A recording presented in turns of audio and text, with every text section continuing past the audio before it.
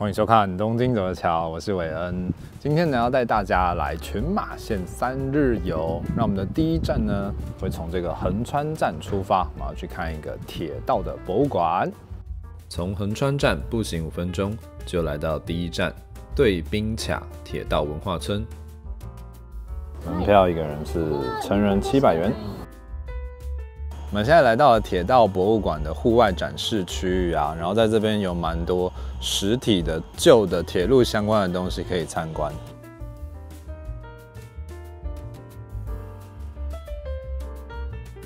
大家有看到这个铁轨吗？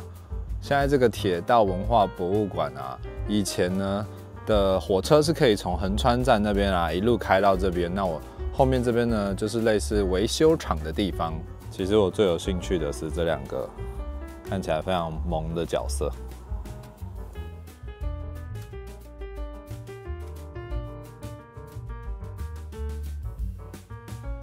我这边还蛮特别的啊，可以体验就是模拟开车的感觉。然后现在来开给大家看看。这个是刹车，然后这个呢就是不同的档次。那我们现在在 SP 的档位。那我们的画面呢是后退，是因为我们是这边调节的是算是倒车的方向。然后我们现在一路是开往清景泽站，我们现在已经来到全速前进了。我们刚体验完开火车之后呢，现在来参观的这一台啊是日本国产的第一台的电气的火车。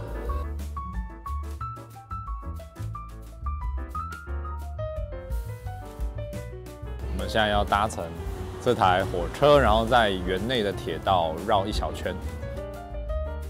搭乘这台小阿普特列车需要额外购买五百日元的乘车券，我是还蛮推荐搭乘看看的。木质的复古车厢加上迷你版的火车尺寸，很有趣。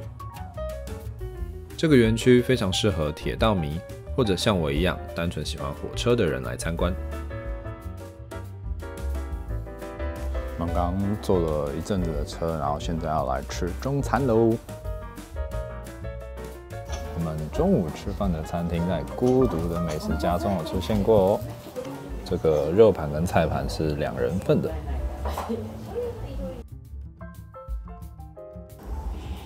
接下来在中间放入葱。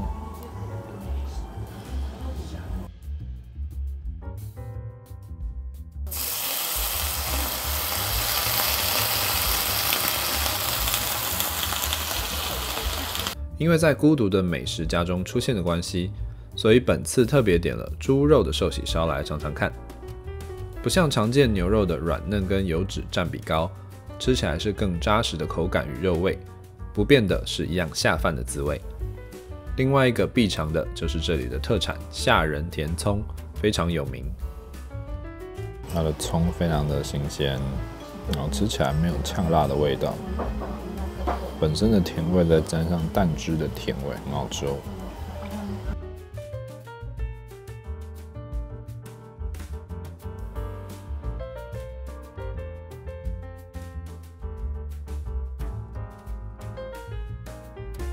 我们刚吃完好吃的寿喜烧之后呢，大概开车三十分钟左右，那现在来到了富冈的制丝厂。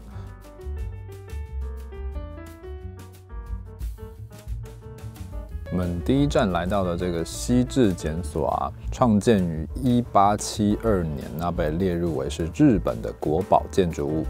制检所就是产检的仓库，东西各有一栋制检所，长约一百零四公尺，非常宽阔。现在内部空间部分用作展演空间，还有人在这里举办婚礼哦。然后这个园区除了有一些国宝建筑之外啊。觉得这边散步起来也蛮舒服的，因为它整个区域还蛮大的，然后也有一些呃庭园啊，以及广场。接下来参观的是我觉得园区最有趣的缫丝厂。缫丝就是把蚕茧浸泡在热汤中，用手抽丝，再缠绕于器具上的过程。一进门就可以看到许多当年的自动缫丝机，完整的保留在厂区中。这里还有现场演示人工缫丝的过程。它卷的这个线呢，就会沿着上方然后被卷到这个机器的里面。那大家要记得啊，这次因为是采访的关系，平常呢是不能摄影的哦。刚刚的那个制作过程呢，有没有让你想到一句成语，叫做抽丝剥茧呢？呵呵这边当然也有一些纪念品啊，或是商品的店家啦。听说用这个洗脸对皮肤很好哦。开车大概十分钟，来到一个现在超酷的地方，叫做是举若公园。这边看起来就色彩缤纷，洋溢着一种欢乐的气息。园区里面开放的空间啊，就有足汤可以泡。举若就长这样啦，有一点像巨大南瓜的感觉，超酷的。那我们现在首先呢，要来到二楼的举若工厂，要来看看举若的制造过程了。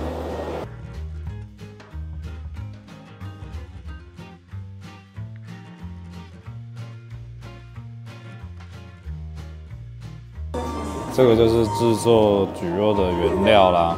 那主要取用的是下面的部分，然后它高可以到一百八十公分，但上面这边是没有在用。这边有一个很酷的小知识，就是群马县的这个制作蒟蒻的植物啊，产量是日本第一的，然后基本上百分之九十二都是在群马县所收获的。它这边这个蒟蒻公园啊，超福星的哎，它这个蒟蒻自助餐是免费的，然后入园本身也是免费的。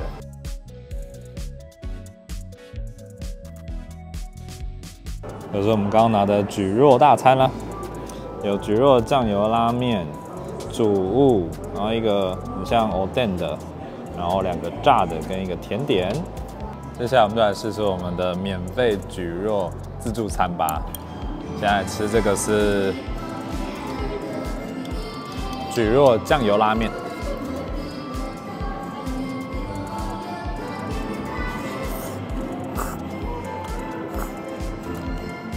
哦，其实还蛮好吃的，酱油的味道，然后面就 QQ 的蒟蒻面。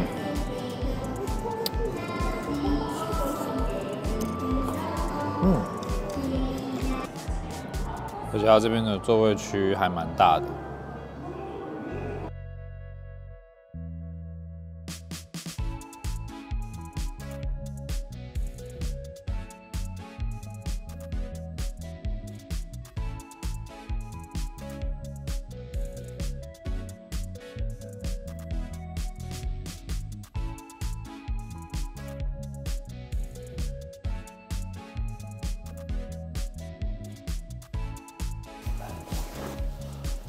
嗨，大家，现在已经 check in 我们今天住的温泉旅馆了，它是伊香保温泉旅馆如心之里 Hibikino。好，那我们就简单帮大家开箱一下今天的房间长什么样子。这是一进门的玄关处，还蛮大的。我们这边的灯饰看起来都还蛮有温泉旅馆的风味。浴室还蛮大的，有两个洗面台。然后虽说是温泉旅馆，但是如果你要在房间里面泡汤也是可以的。再来，我们进到房间，是一个非常标准的温泉旅馆的房间，有榻榻米，然后一个小的长桌，两个座位。这个房间还算蛮宽敞的，在我住过的旅馆里面算很大。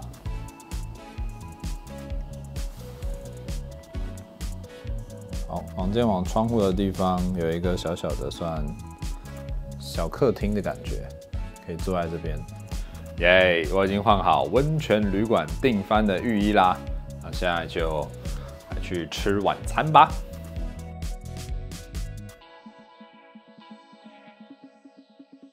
我们现在在前往餐厅的路上，它这边设计的很像，真的在那种。日本庭园里面的感觉，蛮特别的。晚餐当然要在温泉旅馆吃怀石料理了。寿喜烧的牛肉肉质软嫩，搭配蛋液吃下去，真的超满足。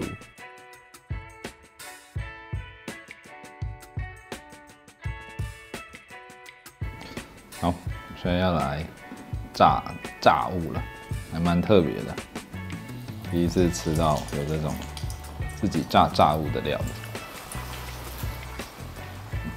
次给它下两个好了。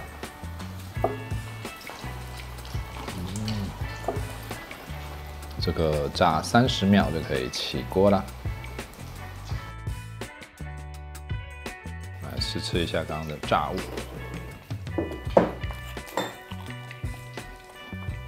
嗯，我这个也是有点像面起的，外面酥酥脆脆，然后里面有那个肉的馅，还蛮好吃的。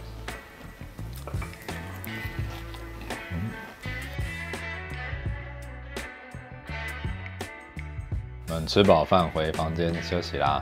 刚刚的那个怀石料理吃的超级饱的，那等消化一下之后呢，就要去泡温泉喽。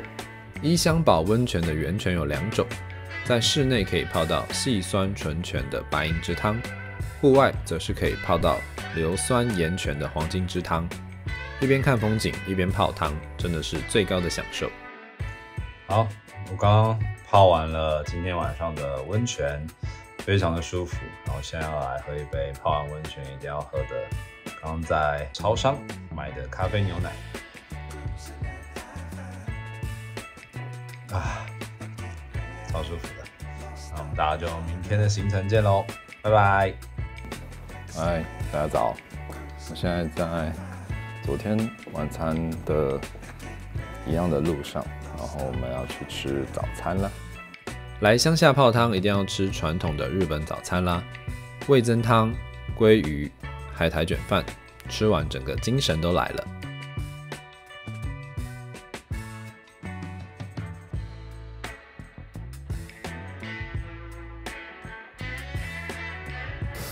好，我们昨天居住的区域啊，就是伊香保温泉的这整个大的范围。那我们现在今天来到第一个景点呢，叫做河路桥，就是这个红红的桥啦。那因为现在有一些积雪的关系，我觉得看起来还蛮漂亮的。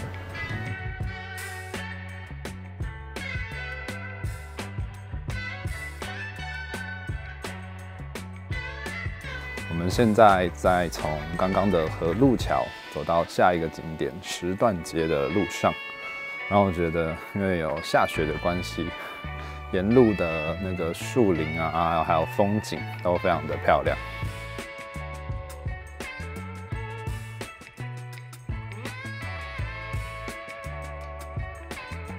这里呢是十段街的最顶端，三百六十五街了。那因为我们今天呢是开车到上面往下走，所以呢我们是从顶点往回爬。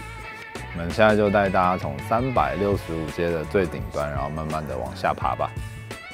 石段街顾名思义，就是由石头所堆砌成的阶梯，已经有四百年的历史。整个区域其实就是一个大型的温泉商店街。沿着石段街的两旁，有许多温泉旅馆、餐厅、店家等等。哦，它这边有头文字 D 水沟盖，真正的漂移就看这里了。水沟盖过弯，哇塞！对，刚刚阿伦已经打过招呼了，应该说我刚刚已经在阿伦的影片里面出现过了。阿伦大家好。对，这趟旅游呢，其实也有阿伦也有一起来玩。那在他的频道呢，也会有一样的行程的介绍，大家有兴趣的话可以顺便看看哦。可以看看喽。这个石段街这里啊，你一边爬的时候，也可以一边看看两旁的一些商店啊，然后可能都会有卖一些吃的或者是纪念品。这边的温泉旅馆啊，外面还有足汤可以泡。我觉得这边一边往下爬，一边可以看到的风景啊，真的是蛮舒服的。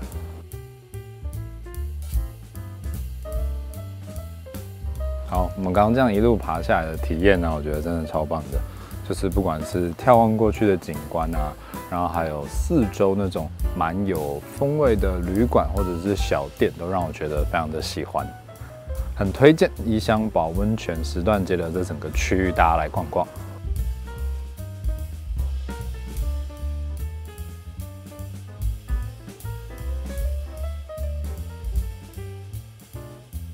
们刚沿路开了那个头文字 D 的一小段路之后呢，真名山的道路。那现在来到真名神社。真名神社历史悠久，大约有一千四百年的历史，而且占地广大，有十五万平方公尺。不管是自然景观或者历史建筑，都非常值得一看。我刚一进来真名神社这边啊，就发现它是我最喜欢的那一种，在深山中的神社。然后建筑物看起来都是有很多年的历史之外啊。也可以顺便看到那种深山中啊那种笔直的树木的景观，然后还有溪流，真的是逛起来超级舒服的。这一带啊被称为叫做千本山，因为这里有很多树林，从一百年到四百年不等的杉树，可以看到都长得非常的笔直，然后非常的雄伟。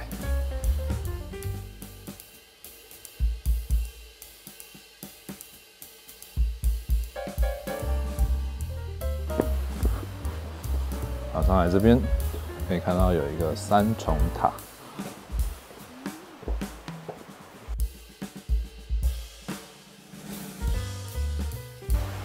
它的参道啊还蛮长的，现在还经过一个有点像小隧道的区域。哇，这边的水流都已经结冰了。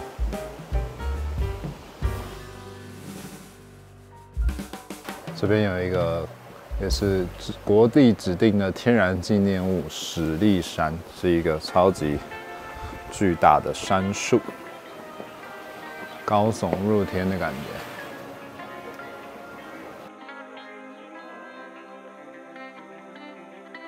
好，我们刚刚呢沿路大概爬了十到十五分钟而已，其实没有很远，那就来到了真名神社的本店的这个区域。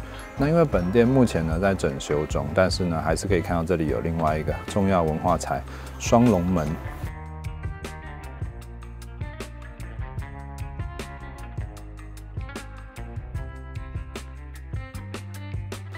好，那再上来这边就比较可惜了，因为目前。神社的本店是在维修中的，所以就看到一个照片，参考一下。我们参拜完了真明神社了，接下来就沿着原路慢慢的散步回去了。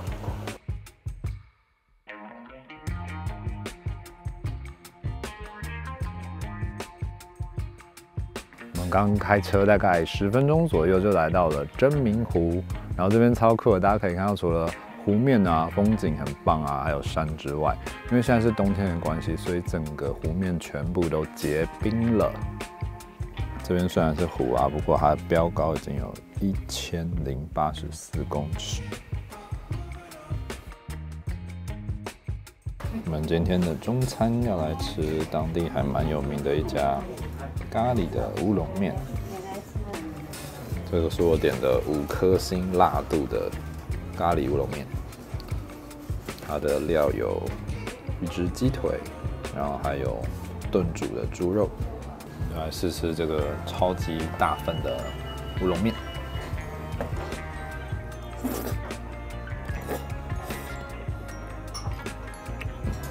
它的咖喱啊。很香，然后辣度我觉得虽然它是写五颗星，但我觉得以台湾人的口味来说还蛮刚好。然后它的乌龙面也蛮 Q 的。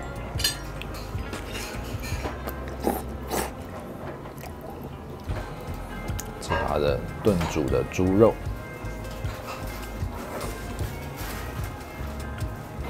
它炖的蛮入味的，然后肉还蛮蛮有口感的，那个黑胡椒香香的，蛮好吃的。所以我们来试吃一下它的鸡腿吧，还蛮软烂的。我刚刚一夹就可以夹起一块肉。嗯，吃光光喽。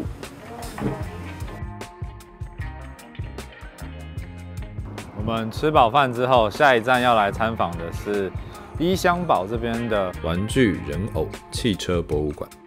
这间博物馆是日本国内最大的私人博物馆，门票一千三百日元，展示了昭和风玩具、物品、汽车等等。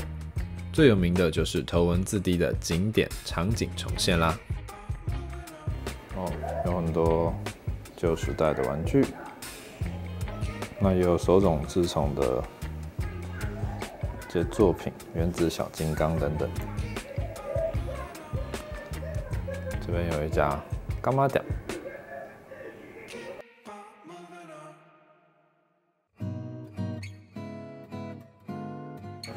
接下来我们下一个区域就要来到汽车博物馆啦。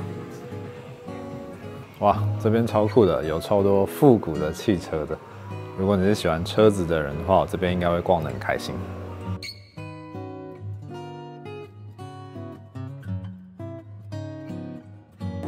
好，我们现在上楼，来到了这里最知名的就是藤原豆腐店。这个角落就是这里最出名的地方了。那虽然我没有看《头文字 D》这个作品呢，不过我觉得光是来这个区块朝圣，然后拍一张照片就已经值回票价了。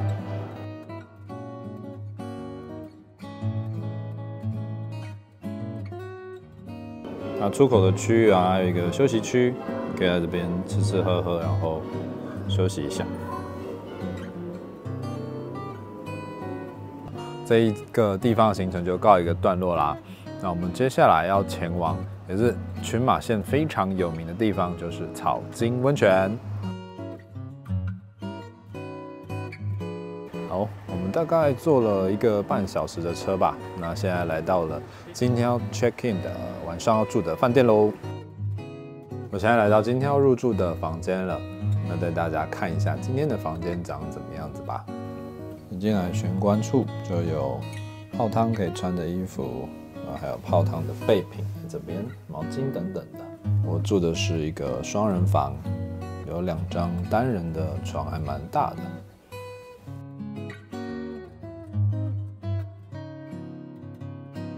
我们现在要去吃晚餐啦。那今天晚餐的地点呢是在我们入住旅馆的姐妹馆的餐厅，所以呢现在在外面要走到餐厅去吃饭。晚餐的餐厅就在这边啦，看起来非常的日式。在姐妹馆，喜美之宿高松的晚餐一样也是丰盛的怀石料理，除了定番的生鱼片以及寿喜烧之外，还多了异国风调理的马赛鱼汤以及牛肉，更增加了口味的丰富性。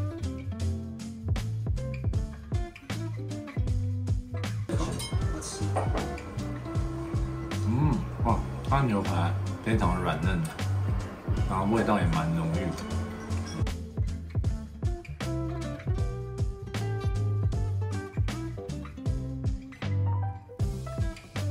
这边就是夜晚的汤田啦、晚上的版本跟白天啊差的还蛮多的。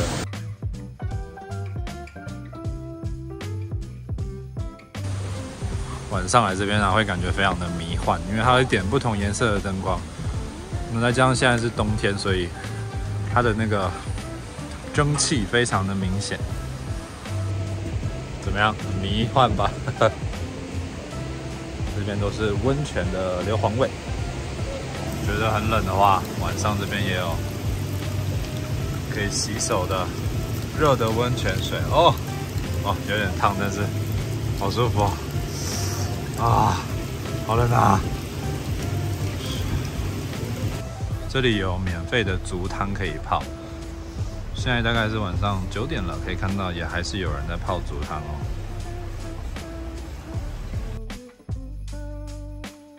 其实我觉得晚上的草津这边啊，因为大部分的地方都有点灯，所以还蛮亮的。我觉得如果你不是很怕冷的话，可以在这边走走逛逛，觉得还蛮有趣的。嗨，大家，我刚工作了一下，还蛮累，现在准备要去泡汤了。这里的温泉就是刚刚汤田所看到的源泉，也就是日本三名泉的草津温泉，是属于强酸性的硫酸盐盐化物温泉，被称为是除了恋爱以外的病都可以治愈的温泉哦。然后泡完温泉了，超舒服的。然后现在在这边喝个饮料休息一下，等一下就要来睡觉啦。那明天早上呢，会再介绍白天的草金温泉给大家看喽。那大家晚安，明天见。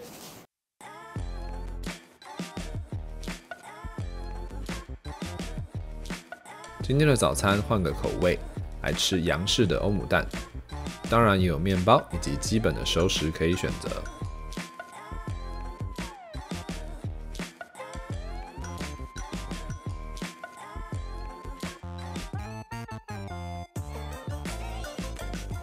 大家早！有看到我这个口吐白烟吗？还有背后这些雪的背景，没错。那我们现在要前往今天草金温泉的第一个景点啦。这里就是我们今天的第一站——草金热带圈。这边是日本动物园中最高的地方。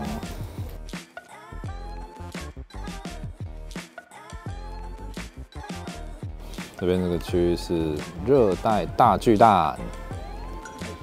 草金热带圈开幕在一九七零年，使用草金的温泉地热来维持温度。在这个高十五公尺的圆顶温室内，有超过一千只以上的动物，同时也是日本爬虫类饲养数量最多的动物园。这里的明星动物是泡温泉的水豚菌，还可以近距离的喂食。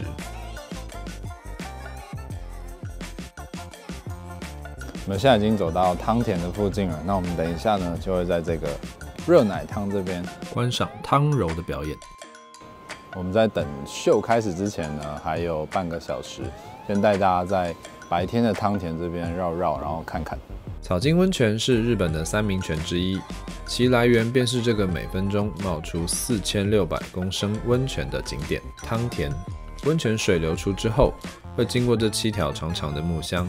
称为木通，这里的温泉水就是像这样流过七条四十公尺长的木头的箱子，来达到降温以及收集汤汁花的效果。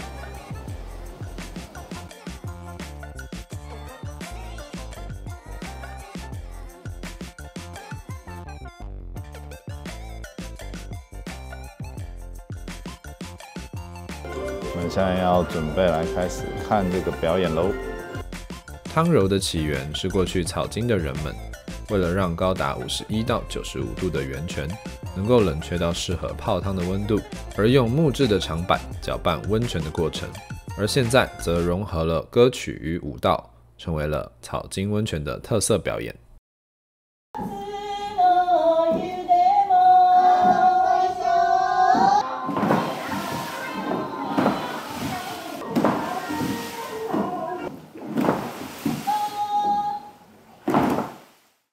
好的，我们已经看完了刚刚草金这边揉汤的传统表演了，我觉得还还蛮有趣的，就是看到日本他们就是会蛮蛮努力，然后蛮认真的保存自己算是固有的这种文化遗产吧，然后也可以吸引很多世界各地不同的观光客过来看这样子。我们刚刚看完表演之后呢，现在距离中餐下一个行程还有一段时间。我们目前预计会在草金的温泉街这边带大家走走看看，像这排店家就有卖蛮多，像温泉馒头、足汤咖啡，然后也有卖冰淇淋啊等等的。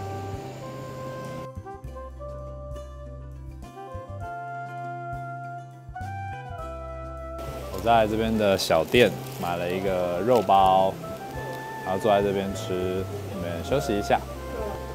这个是群马当地特产的猪肉。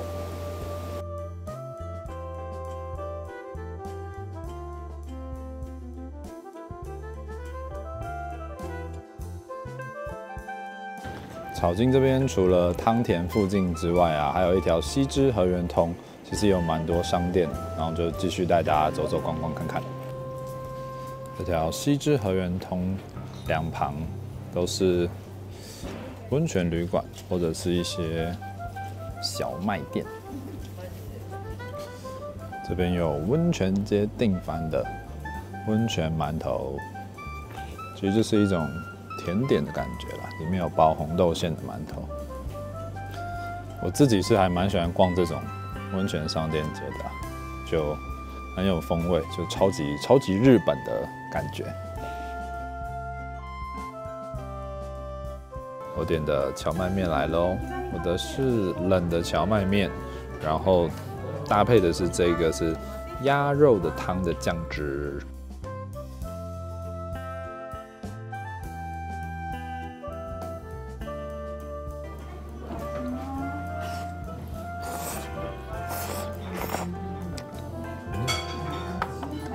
它那个汤汁啊，鸭肉的味道非常的浓郁，然后很香，然后因为那个汤的温度很高，所以冷的寿把下去啊，可以保持寿把的 Q 度，可是呢吃的时候却是热的口感。然后另外呢，它除了鸭的汤的味道之外，你其实也可以吃到专属于荞麦面的荞麦的香味哦。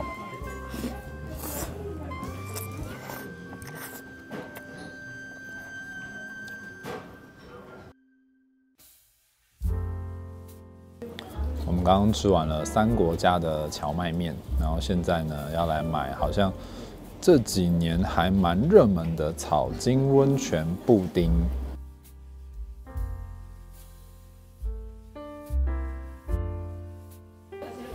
很可爱的草金温泉布丁，然后附一块小小的坐垫给它坐，超可爱的。好，现在来试试这个很可爱的草金温泉布丁。哦，这布丁啊，非常的滑顺，就是一入口就整个超级融化，然后很香，很甜的感觉，完全不腻。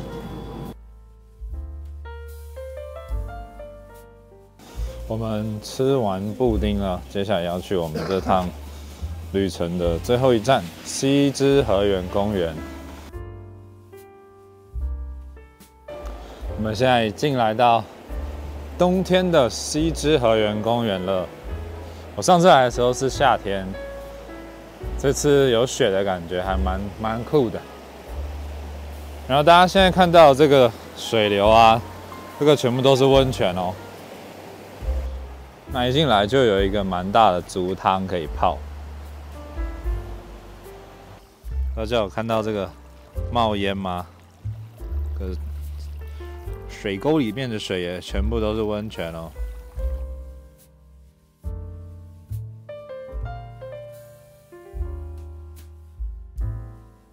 我们要来泡这个露天风吕啦。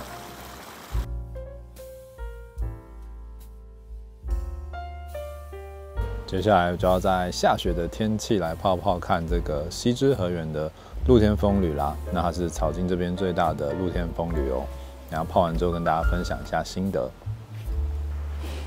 嗨，大家，我泡完温泉了。哎，老实说，这个露天风吕啊，真的完全超乎我的想象，因为它里面那个池子很广嘛，所以呃可以看到非常棒的，就是西之河园公园这边的景色。然后再加上现在又有下雪，所以你可以想象，大家就在这种风景之下，然后泡着露天的风吕，非常的舒适。因为它里面非常的呃位置很大啦，所以我觉得真的还蛮蛮推荐的。然后我刚买了一个，这边也是应该算名产的那个 yogurt，就是优酪乳。那大家都知道嘛，泡完温泉的话，日式的温泉一定要喝个牛奶或者是喝个优酪乳啦。